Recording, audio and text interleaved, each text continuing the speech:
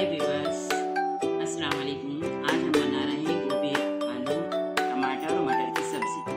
और हमने एक गोभी लिया है, दो आलू लिए, दो टमाटर हैं, थोड़े से मटर हैं, तीन हरी मिर्च और एक हमने हमने ये सब्ज़ी कट कर ली है, एक गोभी है दो आलू है एक प्याज है, तीन चार हरी मिर्च, टमाटर, मटर, एक दो चम्मच धनिया पाउडर आध एक चम्मच मिर्ची पाउडर, एक चम्मच हल्दी पाउडर, एक चम्मच अदरक लहसुन का पेस्ट, थोड़ा सा नमक टेस्ट के अकॉर्डिंग और एक चम्मच सब्ज़ी